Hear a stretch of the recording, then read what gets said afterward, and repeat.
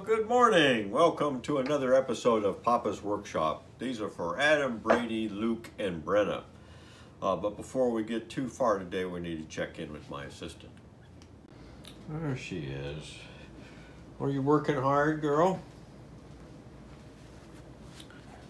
Yes, that's my good Molly. Oh, that's my good Molly. You gonna get your belly rubbed, huh? Oh, yeah. Oh, yeah. Shall we get to work? All right, let's get to work. Okay. So, this will be the, we're, we've got the chest of drawers done, the block front chest. It, it's done, it's ready to be, to put the finish on. Uh, so this will be the last episode of the block front chest. Um, and the finishing process is just as important as the rest of it, if not more important. You can have a perfectly executed uh, piece of furniture and then ruin it uh, by putting the, a bad finish on it. Um, so, and even, and the reverse is true. You can have a, a, a piece of furniture that you made that wasn't quite right, um, but a good finish on it, uh, well executed, will make it look a lot better. Um, so it's important. So um, the, the, first thing is to decide what what kind of finish to put on it. Um, and uh, my understanding of the early, the, the, the period that this was, the, the original was made in this, uh, they kind of made their own varnishes. Uh, shellac was available, but it had to come from the halfway around the world. So it wasn't like it was used all the time. Uh, I'm going to use shellac since it's a little more period accurate than a polyurethane, of course. Um, but looking at the chest, and you can't really see it on the camera as well, um, the top drawer is lighter than the rest, than the other drawers. The, it, it basically is a case of that the four quarter stock, the one inch stock that I had, is all from the same tree, and that is lighter than the eight quarter or the two inch thick uh, stuff I used for the bottom three drawers and the frame and the bracket feet. So the the sides and the top and the top drawer are a little bit lighter just already. Um, cherry, like mahogany, the, the original was made in, with mahogany, but the two of them get darker as they age. Uh, but cherry kind of differs from tree to tree how much darker it will get. So I think I'm going to end up with a top drawer that's going to end up being a lot lighter than the, the rest of the other drawers. I mean, you won't see the, the rest of it as much, but that contrast between the drawers. So I'm going to try to darken darken everything right out of the chute. Um, so you could use a stain or a dye. Now the difference is a stain, uh, think of stain as being muddy water. Uh, it has pigment in there uh, in the stain and water has the mud or this, the dirt. And so the, the higher the pigment, the thicker the stain is uh, and the darker you can make it in the, on the wood. But that's more mud and it kind of clouds just like a muddy uh, it clouds the uh, the grain pattern and it kind of hides it. And, and basically that pigment stays on the surface and you have to wipe off uh, you have to wipe it off with the grain or you're you're going to uh, you're to see to see it. Uh, dye works a little differently. It, it soaks into the wood. Um, so it doesn't hide the grain pattern as much. So I'm going to use a dye uh, and, and, and I'm to, you can put that on with a rag or a brush, but it's going to soak in more on the end grains. Uh, and you, you have to get it on there fairly uh, even. You can do that with a rag. You, you can actually get then wet the rag and wipe some of it off while it's still wet if you get too dark. Um, but I'm going to spray it. I've got a sprayer, um, so I'm going to spray it to get an even coat on the thing. But I'm going to use a water-based dye, which means that uh, when it gets wet, the wood gets wet, that the it raises the grain. There'll be little fuzzies that come up on it. Um, so what we're going to do is sand everything to a uniform level. Uh, and I've been kind of doing that as we've been building it, so I don't have a lot to do. But I want to sand everything to 220 grit um, by hand, no power sanders. And then the end grains I'm going to touch up with 320 or 400 grit uh, so that it, it isn't as prone to soak up that dye as much. Um, and then we're going to take a wet rag and dampen uh, dampen the, the, furniture or whatever um, and then let that dry overnight. That will raise the grain and give us those fuzzies. And then we're going to go back and take a brown paper bag, just brown paper, and just rub those fuzzies off of there. Um, if you sand it again, you're just gonna, the same thing will happen when you put the dye on. So we can get most of that fuzziness uh, by doing that first application of water. And then when we spray the dye, it won't, it'll be still some fuzzies, but it won't be as much. And again, we'll just take a, a brown paper bag and wipe it all down, rub it all down smooth. And then we're going to put on about three coats of shellac uh, over the dye to kind of seal it. And then I'm going to use a stain, a gel stain, as a glaze. Um, the stain isn't going to soak in because we've sealed it with shellac. Uh, but so you put the put the gel stain on and then you wipe off as much as you can. And what happens is that it'll stay in the crevices and it kind of helps make the project look older and uh, it makes the carvings a little more, uh, you know, it gives some depth to it because of the dark uh, spots in the crevices and that. So it won't add a lot to the color, but it, it will help uh, look at. Then we'll put more coats of shellac on there, uh, and the top will have to uh, rub that out eventually. We'll we'll let we'll get uh, maybe like six or eight coats of shellac on there, and then uh, let that set for a week or two uh, to let the shellac harden, and then we'll rub that out and make it all nice and smooth. And then the last thing we'll do is put some paste wax on it. That's sort of the game plan. Um, the thing is, I gotta wait till the weather cooperates. I have to spray outside in the garage, so uh, we need a week of no rain and fairly decent weather. So, and that ain't gonna happen for a little bit. Uh, so it'll probably be April. So we got to get things ready. And this is kind of what uh, the, the progression. This is just raw cherry and then uh, with, with the dye, and then a coat of shellac and the glaze, and then more shellac. So that's kind of where we're, we're going to end up with something like this. I try to do this, make a little card like this for, in, in the list what I did for every project. Uh, so I know I got sort of a record of what, what the finish was and, and how it was achieved. So um, so right now I just have to get to work sanding. And we'll kind of pop in after each each step and uh, and watch the progression, but it's going to take a while. Okay, a quick little lesson on uh, period hardware or the screws. Um, I'm, I imagine on the internet there's somewhere that sells reproduction screws, but um, we can get relatively close with hardware store screws as long as they're slotted, right? They, they've got a, they got a, a slot, not a Phillips or a square Robertson head or any of those. There's dozens dozens and dozens of the new styles, but they all started in the uh, early 20th century. So, um, so to be period, it's got to be slotted.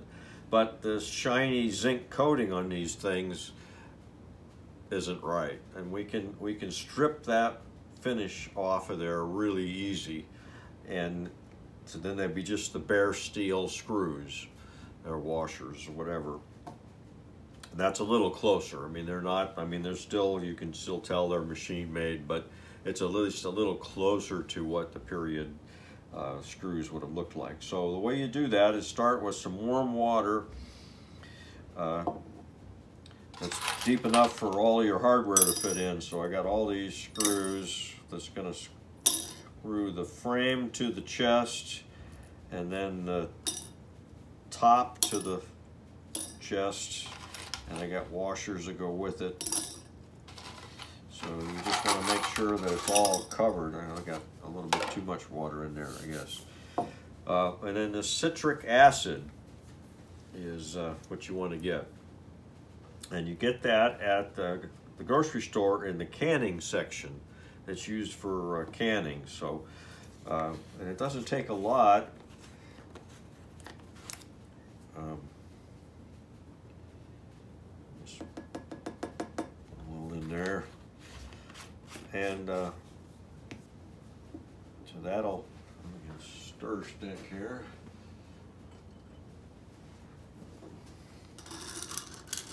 Mix that up. And that'll start bubbling within a couple of minutes.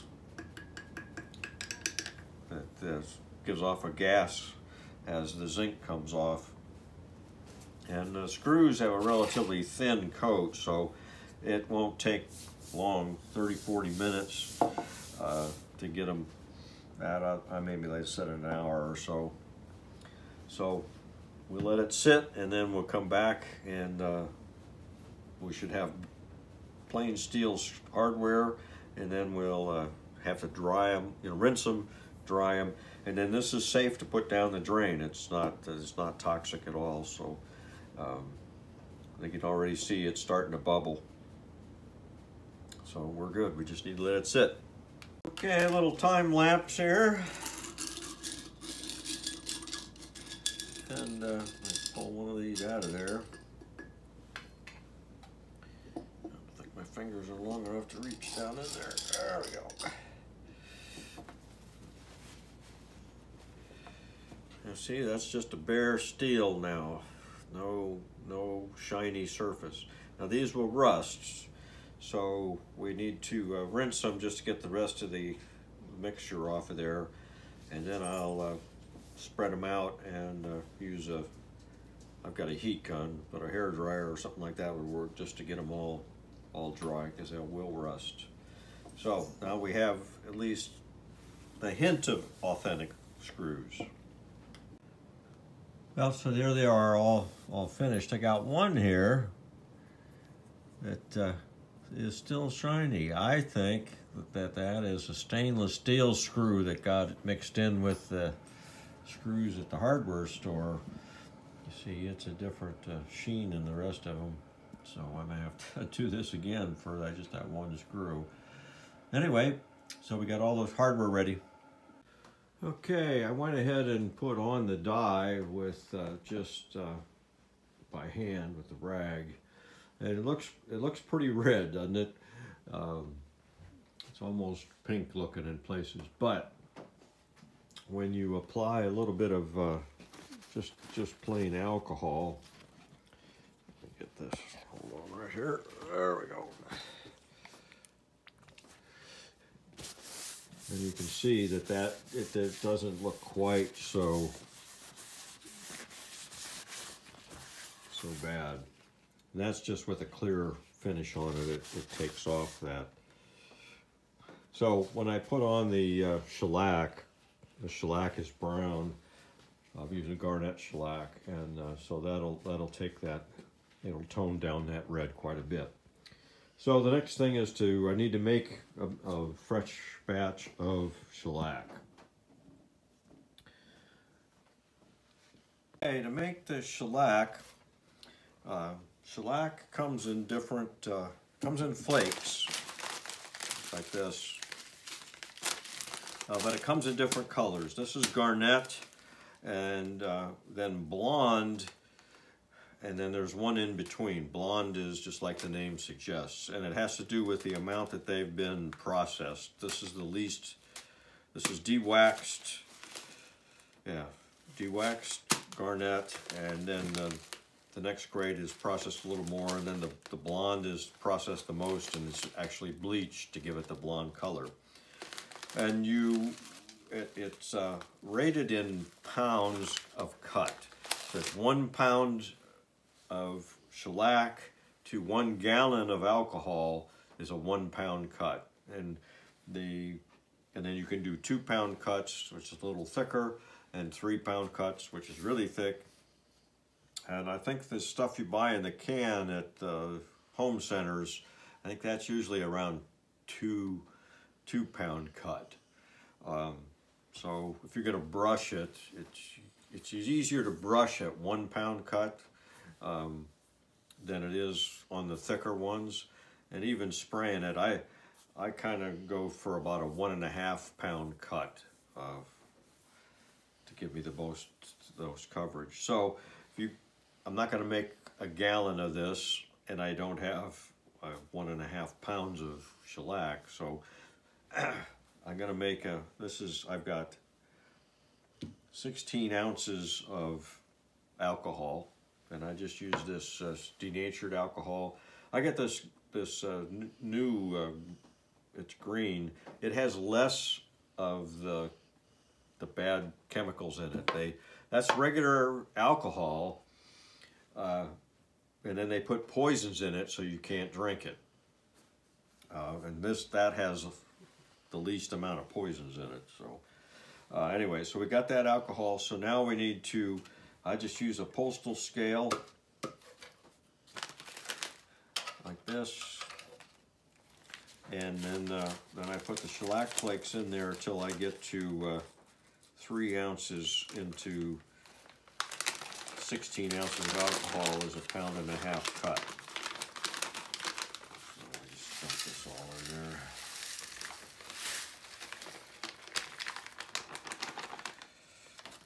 And uh, they put these packets in there to keep the humidity down. There is a shelf life on the on the uh, there's no date on this bag or anything, but there is, you can get flakes be too old. And uh, what happens is when it's old, is it won't dissolve very well in the uh, in the alcohol. If it takes forever to to dissolve, it's probably no good.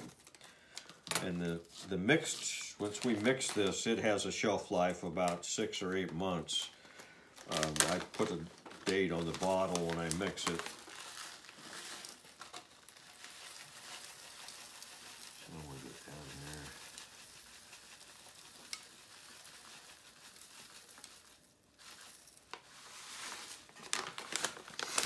Um,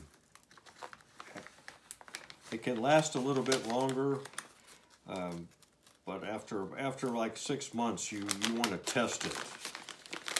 Test it before you use it. Put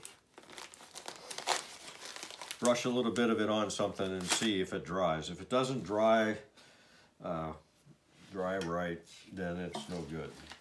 It'll stay gummy, and so I use an old uh, coffee grinder to kind of speed the process up. Basically, these these flakes will dissolve in the alcohol, but I can kind of chop them up by putting them in here and uh, they'll they'll dissolve quicker. This way it may take a, a day or two for all those flakes to get dissolved. This this will dissolve all in about eight hours I'll usually make it in the evening and then let it sit overnight. First to that, like I said, we have to get this so that it all melts. And See, it's, it's kind of if uh, if that all stays gummed at the bottom after it's been sitting for a while, that's when it's no good. So we're gonna let this sift. I'm gonna just shake it every once in a while, get all the stuff out of the bottom. Uh, but uh, I gotta get that lid. Get, lid is leaking a little bit. Um, so we'll let that sit uh, for eight hours or overnight, and then we need to filter it. And to filter it, I made a batch last night, and uh, see here, it's it's pretty. Everything's come off the bottom, so it's all pretty well mixed. But there are Im impurities in the shellac. Uh, the shellac is a comes from the shellac bug, and it's excretions on the tree, and uh, so there's there can be little dirt and stuff in it. So we're going to just run it through a filter. So we're just going to run that through.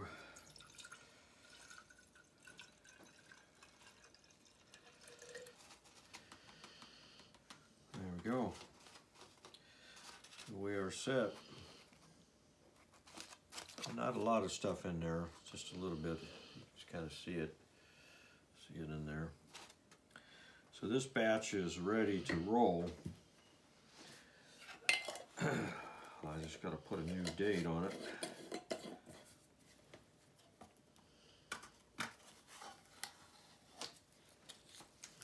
So I just put a piece of tape and put a date on that, and then we'll uh, mix that other one. Now, now we have to wait for a good, uh, good stretch of good weather so we can spray this. So there we have it. All right, the chest is done. We had some good weather. We sprayed three coats of shellac, put the glaze on, wipe the glaze off, more coats of shellac, rub out the finish, put a coat of, a coat of dark brown paste wax. Um, so it's, it's in place now up in my office. Um, so what I've done is taken some still pictures and made a little slideshow that we'll play here in a second. And the black and white photos are of the original. I tried to mimic that same view on my uh, on my reproduction. I'm not a professional photographer. I didn't have a studio, um, so but here it is. Uh, so that is the end of of this uh, this episode and this project.